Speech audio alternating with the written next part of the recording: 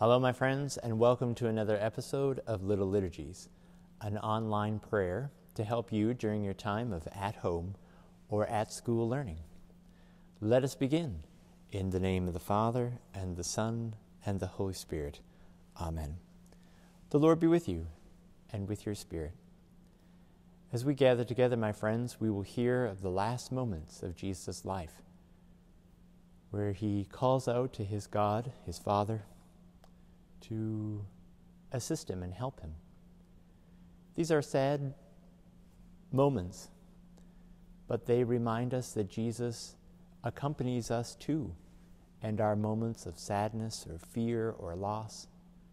And so, as we hear these words of Jesus, let us know that it was Jesus' way of telling us that he wants to be with us in all things.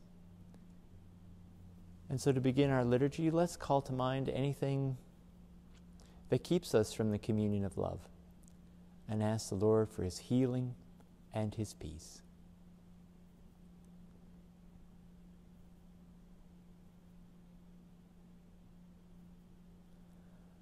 Lord, have mercy. Lord, have mercy. Christ, have mercy. Christ, have mercy. Lord, have mercy. Lord, have mercy.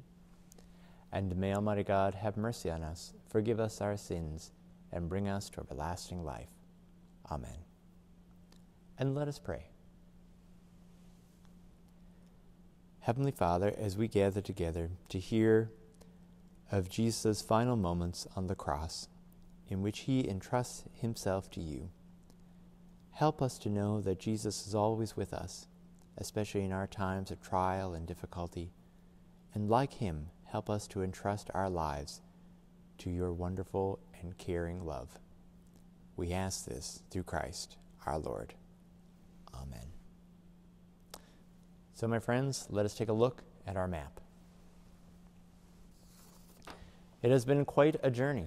This is the second last, last stop um, on, on our map. Once again, we started out in the wilderness with John the Baptist, the baptism of Jesus in the River Jordan, we made our way around the Sea of Galilee, in which Jesus called his disciples and healed those with troubled spirits. We made our way down to we saw the transfiguration where Jesus revealed his glory to the disciples. And then we went down to Jericho where Jesus healed someone who was blind. And then we made our way to Jerusalem. Last week we heard of him gathering around with his disciples to share a final meal, the Last Supper, in which he promised to be with them always. And today, my friends, Jesus, after being, sadly, nailed to the cross, he now gives up his life for you and for me to save us from sin and death. Let us hear these solemn words.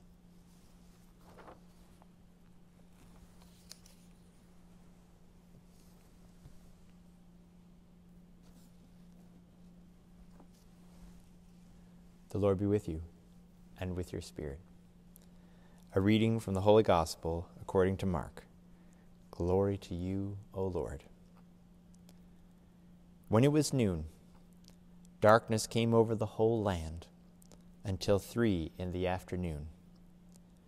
At three o'clock, Jesus cried out with a loud voice, Eloi, Eloi, lema sabachthani, which means, my God, my God, why have you forsaken me? When some of the bystanders heard it, they said, Listen, he is calling for Elijah. And someone ran, filled the sponge with sour wine, and put it on a stick, and gave it to him to drink, saying, Wait, let us see whether Elijah will come, da- will come to him. Elijah will come and take him down. Then Jesus gave a loud cry and breathed his last. And the curtain of the temple was torn in two from top to bottom. Now, when the centurion who stood facing him saw that in this way he breathed his last, he said, Truly, this man was God's Son.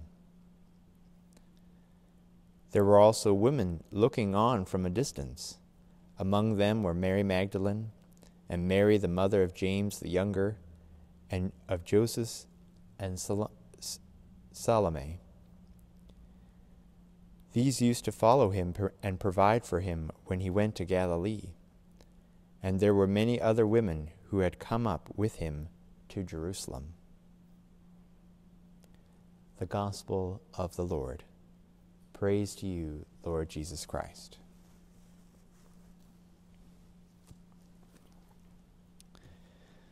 So, my friends, our theme for these for this journey has been called by name. And we hear today Jesus in a moment of tremendous desperation calls upon his heavenly Father and questions why God has his father has forsaken him. Now, we know what's going to happen.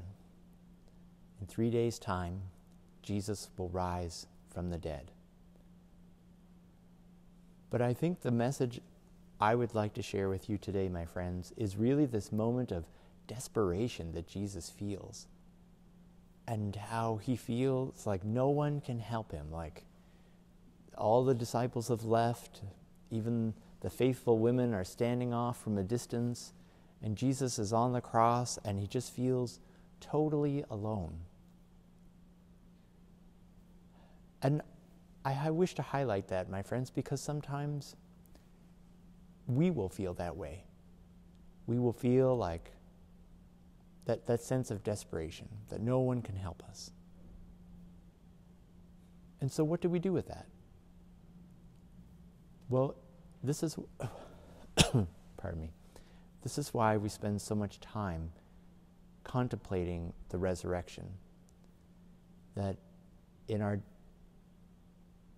darkest, saddest, desperate moments, we must remember the hope of the resurrection, that God can somehow get to us. At the same time, my friends, if you experience a moment of sadness and desperation like this, I, I invite you to reach out to people that care about you try to describe how you feel and what is bothering with you. I appreciate that sometimes people are busy in our lives and you have to like be a little persistent to get their their attention. But at the same time, please know that God is always with you. I know Jesus in this reading feels like he's totally alone, but the resurrection comes about because God the Father and the Holy Spirit are with him. And Jesus has willingly undergone this time of trial and loss and difficulty so that we may know that God the Father and the Holy Spirit are also always with us. So if you feel a time of desperation and loss or sadness like we hear in today's gospel reading, my friends, Hold strong to the message of Jesus' hope. The resurrection will come. And may that give you the courage to reach out to others who can help you. And so, my friends, as we hear this word, these words of, on one hand, desperation, but also the call for us to always remain people of hope, confident in God's resurrection, let us share our confident faith and hope with all the world. So let us pray. Let's pray for people who feel alone, or lost, or abandoned, or desperate, that they may experience the hope of the resurrection, the knowledge that things can get better. And may they also be surrounded by people who are the ears and hands and heart of Jesus to them. We pray to the Lord. Lord, hear our prayer. We also pray, my friends, for those situations in our lives that may pull us down, that may fe- make us feel lost or desperate or sad. Or, and let's give them to God. Let's give them to Jesus because He knows what that's like. And ask Him to walk with us, to show us the way, to have the courage to reach out to people who can help us. We pray to the Lord. Lord, hear our prayer. We also pray, my friends, for those who have a special claim and claim on our love, the poor, the widow, the orphan, the foreigner, those who are far from friends and family. Let us ask the Holy Spirit to bless them and help them. We pray to the Lord. Lord, hear our prayer. We also pray for all the sick, my friends.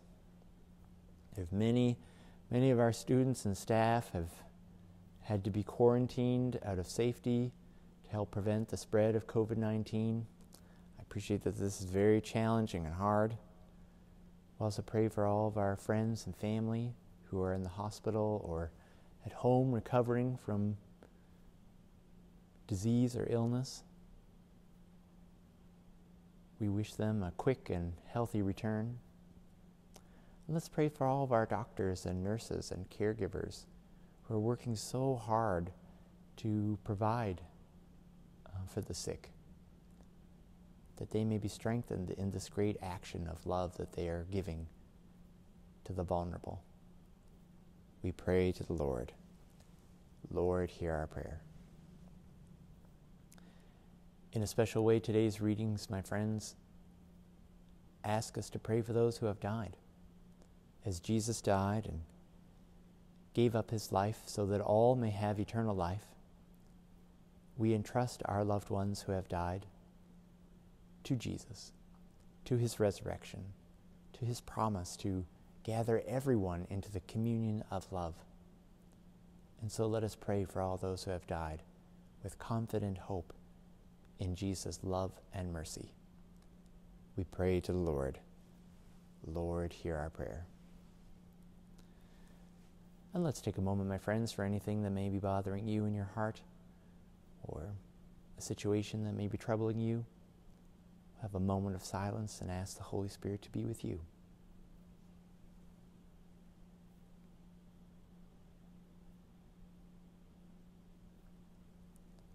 We pray to the Lord. Lord, hear our prayer. Heavenly Father, as we gather these prayers and present them to you, we ask you to answer them according to your will. We know that your will is good and gracious, and that you wish to accompany us in this life, especially in times of trial or difficulty or desperation. Help us to know your love and answer these prayers according to your will, through Christ our Lord. Amen. And so, my friends, let us say the prayer that Jesus himself taught us Our Father, who art in heaven, hallowed be thy name. Thy kingdom come, thy will be done on earth as it is in heaven. Give us this day our daily bread, and forgive us our trespasses, as we forgive those who trespass against us. And lead us not into temptation, but deliver us from evil. Amen. So, my friends, our journey, pardon me, our journey is almost at an end. Next week, we get the joy of celebrating the resurrection. It's going to be great. But before we go, the school of the week. Here we go. Shake it up a little bit. Okay. Put the lid over here. Okay, no cheating. So our winner is St. Catherine. Yay! Congratulations, St. Catherine. That's so wonderful. So let us pray for St. Catherine School, for all the students and staff there, but of course we pray for all of our schools and staff and students. Hail Mary, full of grace, the Lord is with thee. Blessed art thou amongst women, and blessed is the fruit of thy womb, Jesus. Holy Mary, Mother of God, pray for us sinners now and at the hour of our death. Amen.